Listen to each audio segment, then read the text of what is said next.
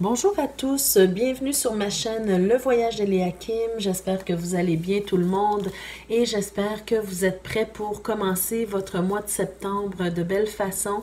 Euh, les vacances sont finies, mais il faut rester optimiste. C'est euh, du nouveau qui s'en vient dans nos vies. Alors euh, aujourd'hui, on se retrouve pour les énergies sentimentales pour le signe du Verseau. Alors bienvenue les Verseaux, bienvenue à tous les autres signes également. Euh, avant de commencer, hein, je vous rappelle que les tirages sont des tirages d'ordre général, qu'il se peut que ça ne concorde pas euh, en tout point à ce que vous vivez présentement. Parce que vous êtes beaucoup à écouter les, tirages, donc c'est impossible que ça concerne tout le monde.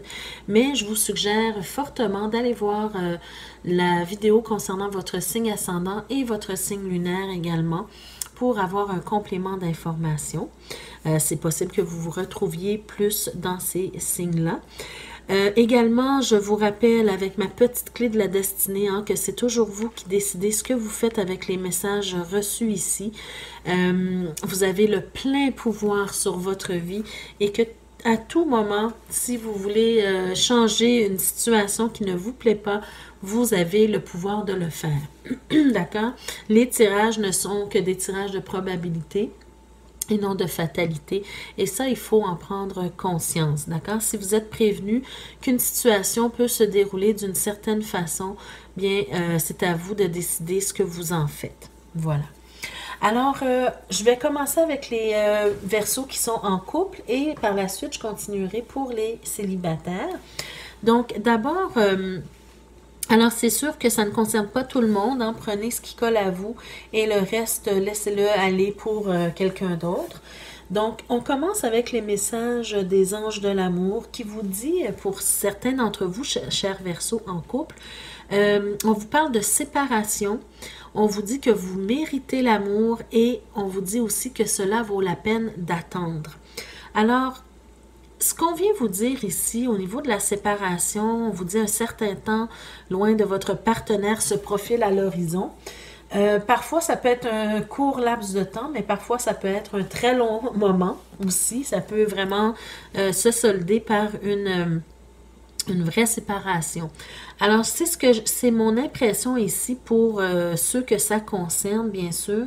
Parce qu'on nous dit ici que vous tournez le dos à une situation qui ne vous convient plus. Hein. Le 8 de coupe, c'est une carte qui vraiment, c'est une décision qui a été prise, euh, c'est vraiment de prendre conscience ici que ce qui nous plaisait avant, ce qui nous faisait du bien, ce qui nous euh, convenait, aujourd'hui, ce n'est plus le cas.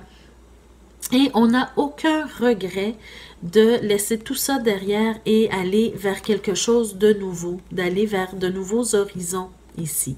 D'accord? Il n'y a aucun regret et j'ai vraiment l'impression ici que vous en êtes rendu là au niveau de votre relation parce que je sens qu'il y a beaucoup de, même si vous avez eu plusieurs euh, moments d'indécision, plusieurs moments où vous vous êtes posé la question, est-ce que je, prends la bonne décision? Hein? Ici, c'est c'est vraiment euh, le 2 de denier, c'est de jongler entre deux choses, deux. Euh, souvent, ça, s'applique à l'emploi, mais ici, ça vient vous dire que vous êtes en train de jongler, vous avez jonglé un certain temps dans votre tête hein, euh, avec l'idée soit de quitter ou de rester, d'endurer.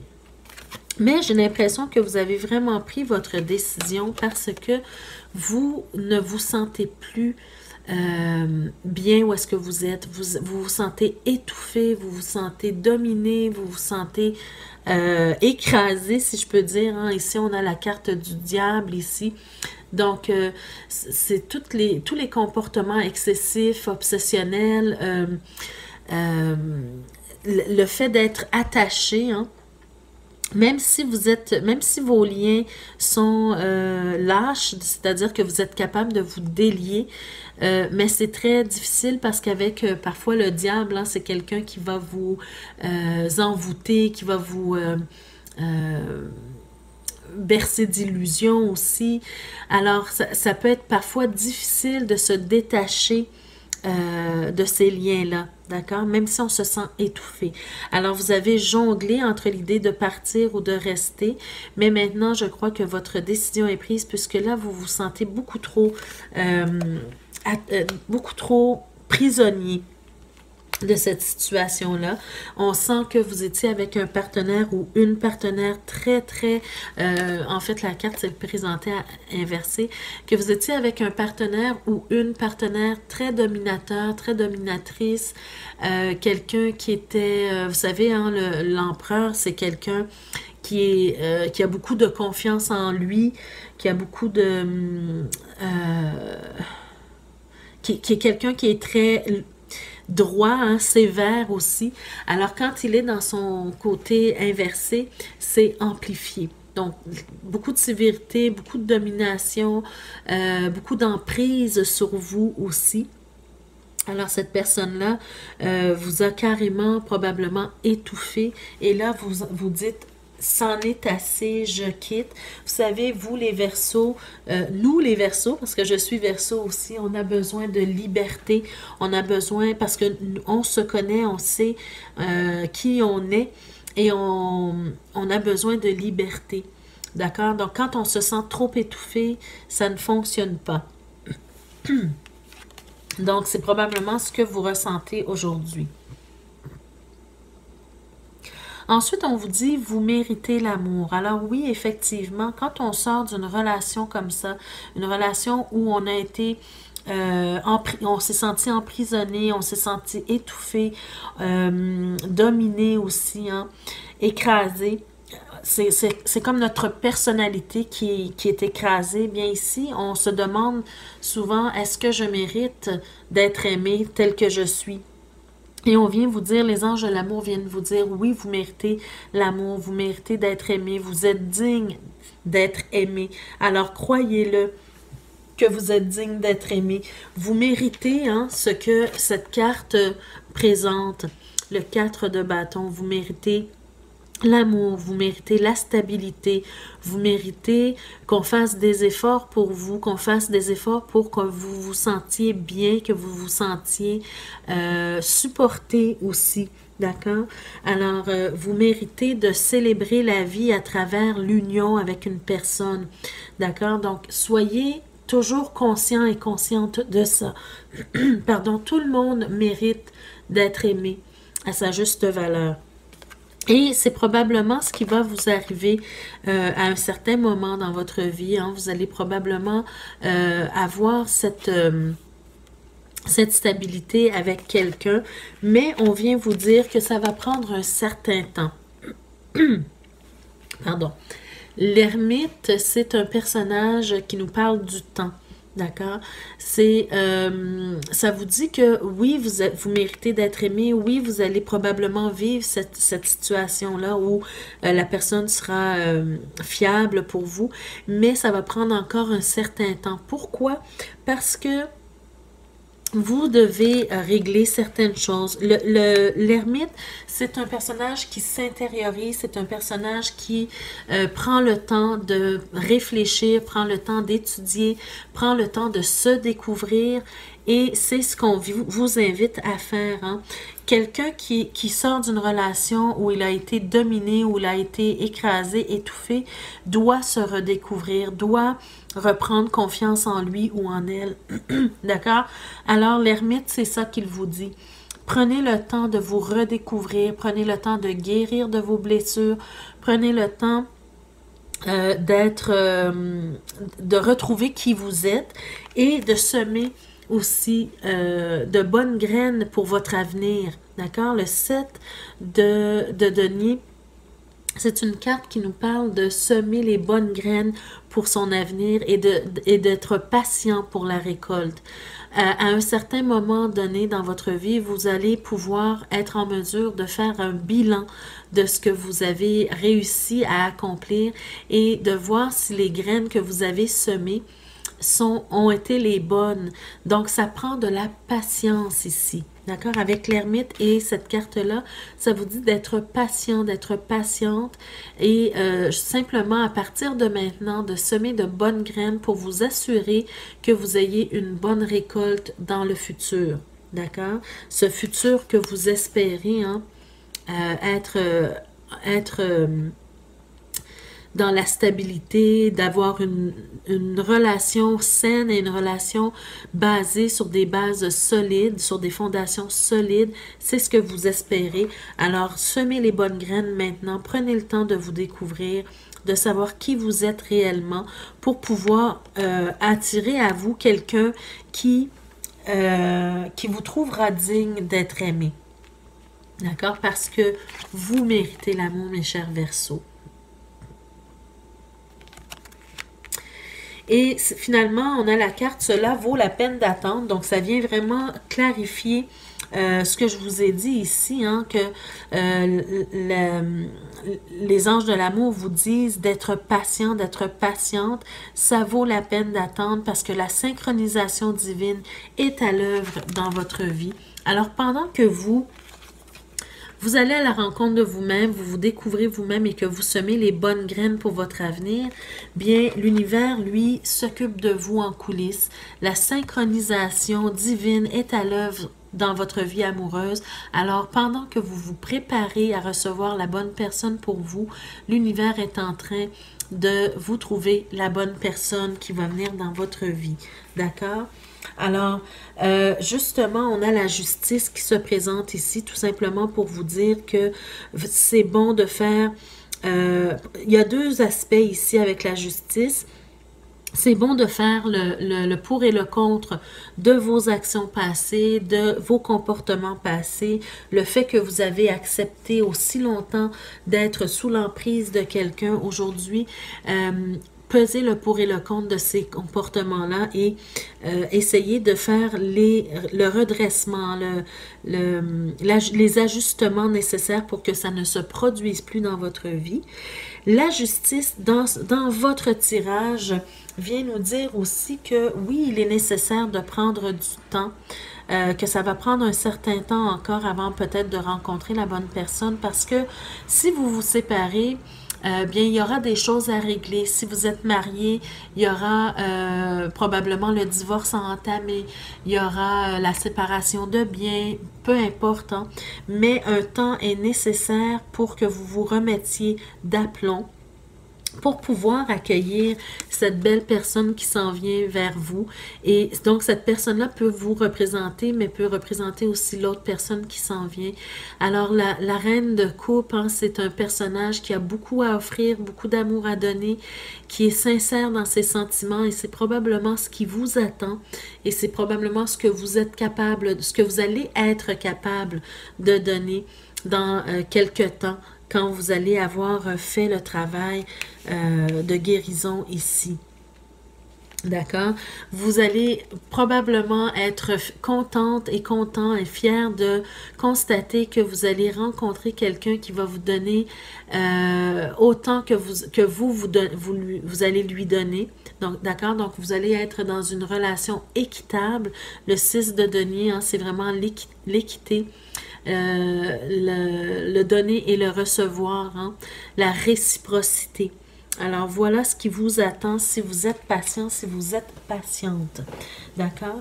J'ai tiré deux cartes euh, d'éclaircissement avec l'oracle lumière. Et la première carte qui est sortie, bien justement, encore une fois, ça vient clarifier ce qu'on vous dit ici. Vous avez besoin de repos. Vous avez besoin de repos physique, vous avez besoin de repos émotionnel, spirituel, dans tous les aspects, vous avez besoin de repos.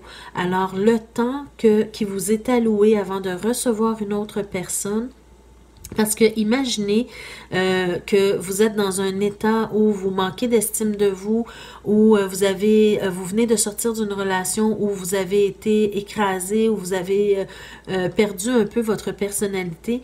Si quelqu'un entrait tout de suite maintenant dans votre vie, je ne suis pas certaine que vous seriez capable de, de bien gérer, d'accord? Vous seriez probablement sur la défensive à tout, tout le temps.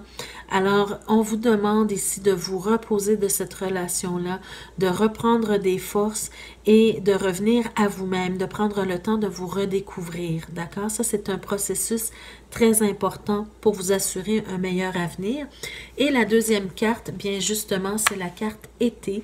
Alors, j'ai l'impression euh, en faisant du ménage dans votre vie, euh, bien, vous allez ressentir les bienfaits hein, de, légèreté de un et de deux. Cette personne-là qui s'en vient dans votre vie, c'est probablement simplement l'été prochain que vous allez le, ou la rencontrer. Et oui, oui, euh, ou bien peut-être vous allez la rencontrer avant cette personne, mais la relation va probablement se changer en relation amoureuse vers l'été prochain.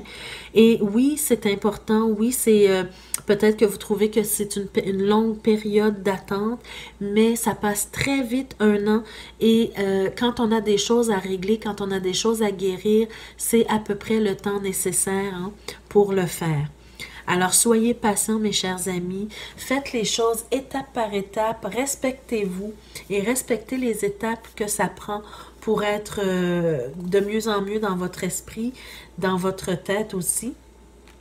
Euh, dans votre cœur aussi, pardon. Alors, euh, prenez le temps que ça mérite. Voilà. Alors, voilà pour vous, mes chers versos qui sont en couple. Donc, je prends le timing simplement et je retire les cartes de la table pour faire place au tirage des célibataires. Alors, qu'est-ce qui vous attend pour vous, mes chers euh, célibataires? Allons voir ça tout de suite. Donc, j'ai déjà tiré les cartes, bien sûr. OK. Donc, c'est bien déjà en partant. On vous dit de rester optimiste pour votre vie amoureuse. Wow, il y a des belles choses qui se présentent ici pour vous, mes chers célibataires, Verseau.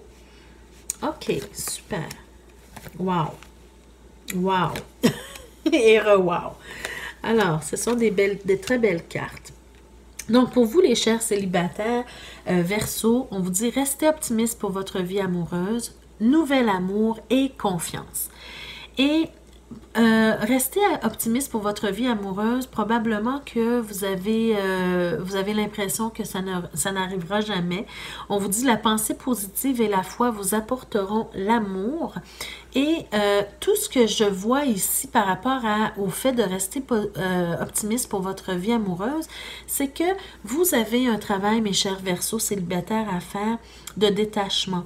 On voit ici la, la carte du 6 de coupe qui vous dit que vous êtes probablement resté accroché à votre ancienne relation. Hein. On reste accroché à, à, quelque chose du passé. Donc, il faut maintenant décrocher parce que j'ai l'impression ici qu'avec la lune, ça, ça, nous parle des peurs profondes, hein, des peurs euh, secrètes. Alors, j'ai l'impression que vous avez peur que euh, vous ne retrouviez plus d'amour, que vous ne qu'il n'y ait plus personne euh, qui puisse vous aimer, qui puisse euh, entrer en relation avec vous. Vous avez cette peur en vous et c'est ce qui fait que vous restez accroché au passé. Mais on vous dit non, restez optimiste pour votre vie amoureuse. Ayez la foi, soyez positif. Euh, parce que cette, attitude-là va vous apporter l'amour, va vous va vous rendre plus attirant ou attirante. Alors, cessez d'avoir peur et cessez aussi de rester accroché à votre passé. Un nouvel amour se profile pour vous, mes chers versos célibataires. Quelqu'un vient d'éveiller vos sentiments romantiques. Alors, alors il y a peut-être quelqu'un dans votre entourage, euh, si ce n'est déjà fait, euh, qui, a éveillé vos sentiments romantiques, que vous avez remarqué et qui vous a remarqué. On parle vraiment d'un personnage euh, sincère dans ses sentiments. On a le roi de, coupe ici. Alors, un personnage qui est vraiment sincère, qui est près de ses... Euh, j'allais dire qui est près de ses émotions, mais le roi de coupe peut parfois sembler froid, c'est-à-dire dans le sens que il va avoir des sentiments euh, sincères pour vous, mais va, va pas nécessairement euh, les exprimer. D'accord? Alors, euh, c'est pour ça que ici, s'il y a quelqu'un qui vient d'éveiller vos sentiments, vous avez peut-être peur que ça ne fonctionne pas parce que vous ne sentez pas nécessairement son amour pour vous. Par contre, euh, soyez conscient, consciente qu'il y, a certaines personnes qui ont de la difficulté à exprimer leur amour, d'accord? Alors ici, Euh, c'est une personne sincère dans ses émotions. Euh, c'est quelqu'un qui vous a remarqué et probablement quelqu'un que vous avez remarqué, quelqu'un que vous admirez ici. On a le 6 de bâton aussi. Quelqu'un que vous admirez et c'est probablement réciproque ce sentiment euh, d'admiration ici. D'accord? Alors ici, on vous parle de la roue de fortune, on vous dit que vous avez vraiment une belle opportunité d'amour ici. Euh, c'est la chance euh, qui vous sourit euh, à nouveau. Alors, ceux et celles qui avaient peur de ne pas rencontrer quelqu'un, soyez confiants en vous. Et la chance vous sourit. Ici, c'est une belle opportunité de rencontre et de relation qui peut s'entamer très bientôt pour vous, les chers Verseaux. D'accord? Et on vous dit ici, en plus, d'avoir confiance, parce que cette situation vous demande d'avoir la foi. D'ailleurs, on vous l'a dit ici. Si vous avez perdu espoir de rencontrer quelqu'un, on vous dit soyez positif et ayez la foi. Ayez confiance que ça s'en vient pour vous. D'accord? Même si les choses ne semblent pas euh, euh, se développer parce que la personne ici euh, n'arrive pas à exprimer vraiment son amour, mais ayez confiance, la situation va changer. D'accord? Vous voyez la, la roue fortune, c'est la chance ici. D'accord? Ayez la foi parce que non seulement cette personne a des sentiments sincères, mais c'est une personne fiable. On a le roi de denier. Une personne fiable, une personne sur qui vous pouvez compter et qui va vous apporter euh, un très beau bonheur. Hein? Et je vous dis, ça, ça, euh, ça, ça s'adresse à ceux que ça concerne, bien sûr. Hein. Ce pas tous les versos qui vont vivre la même chose, mais pour ceux que ça concerne, hein, vous allez avoir vraiment une belle vie avec cette personne-là si vous lui faites confiance, si vous vous faites confiance également. D'accord? On a le 10 de couple. Le 10 de couple, c'est une carte magnifique d'abondance, de bien-être, de partage, d'amour mutuel. Alors, Ayez confiance que ça s'en vient pour vous. Et j'ai même l'impression qu'éventuellement, les choses vont se solidifier, les choses vont se concrétiser et les choses vont... Euh, se valider, c'est-à-dire que euh, c'est possible que l'issue de cette histoire-là puisse se terminer par une union de fait, un mariage. On a quand même la justice ici, une officialisation quelconque. D'accord? Alors, ça sera peut-être pour certains euh, l'arrivée d'un nouveau bébé, par exemple. D'accord? Alors, ou bien le mariage, ou bien l'union de fait, ou l'emménagement euh, avec la personne, mais il y a quelque chose d'officiel qui va arriver avec euh, cette personne. Alors, voilà pour vous. J'ai tiré deux cartes d'éclaircissement pour votre tirage également. Et euh, c'est la même chose. Hein. Vous avez, euh, je vous l'ai dit ici, vous devez vous débarrasser de votre passé. D'accord? Et c'est ce qu'on vient vous dire ici, balayage du passé. Mes chers Verseaux, soyez conscients que le passé qui vous suit vous nuit. D'accord? Alors, laissez partir euh, votre ancienne relation. Faites du ménage pour accueillir du nouveau, du neuf dans votre vie. Quand votre maison elle est trop encombrée de vieilles choses, vous ne pouvez pas accueillir de nouvelles choses dans votre maison. Et c'est la même chose pour vos relations. Si vos relations ne vous ont pas servi auparavant, euh, qu'il n'y a pas d'espoir hein, de, se remettre ensemble ou que ça fonctionne, laissez partir cette relation. C'était une relation qui était là pour vous apprendre des choses, mais vous devez passer à autre chose une fois que c'est terminé. Alors ça, c'est vraiment le conseil qu'on vous donne pour que euh, cette ce cas de figure puisse fonctionner pour vous. Maintenant, il est temps, avec la deuxième carte, il est temps pour vous de vous élever. Il est temps de changer euh, de, décor, de vous élever maintenant. Euh, si vous avez eu des relations difficiles par le passé, on vient vous dire ici que ça sera une relation beaucoup plus facile, euh, beaucoup plus empreinte d'amour sincère, une certaine fluidité ici. Alors, vous êtes en train de vous élever dans les rangs de, comment je pourrais dire, de l'amour sincère et c'est ce dont vous avez besoin, le plus besoin en ce moment. Alors, oubliez euh, les choses du passé, faites ce que vous avez à faire. Euh, n'ayez pas peur de, de, ne jamais rencontrer quelqu'un. Ça s'en vient très bientôt pour vous. Euh, on ne m'a pas indiqué la période vraiment, mais ça s'en vient bientôt. Pour le moment, Soyez simplement euh, dans la légèreté, vivez votre vie, amusez-vous. Regardez le personnage sur cette carte. Hein. Euh, elle vous dit, on vous dit d'être optimiste pour votre vie amoureuse et regardez la personne sur cette carte qui est tout à fait dans la légèreté, qui profite du moment présent et qui euh, offre le meilleur d'elle-même au monde. Hein. Alors c'est ce qu'on vous demande de faire justement pour pour que la personne qui s'en vient vers vous puisse vous trouver de plus en plus attirant ou attirante encore. Alors voilà mes chers euh, amis Verseau, c'était votre tirage pour euh, ce mois-ci, le mois de septembre. J'espère qu'il vous a plu, j'espère qu'il vous apporte des pistes de réflexion, de solutions et que euh, vous allez vraiment faire tout ce qu'il y a à faire pour arriver à vivre une belle vie amoureuse. Alors n'hésitez pas à liker la vidéo, ça fait toujours plaisir, ça m'encourage aussi à continuer. N'hésitez pas pour ceux et celles qui sont nouvelles, qui me découvrent aujourd'hui à vous abonner et à cliquer aussi sur la cloche de notification pour être avisé chaque fois que je mets de nouvelles vidéos en ligne pour vous.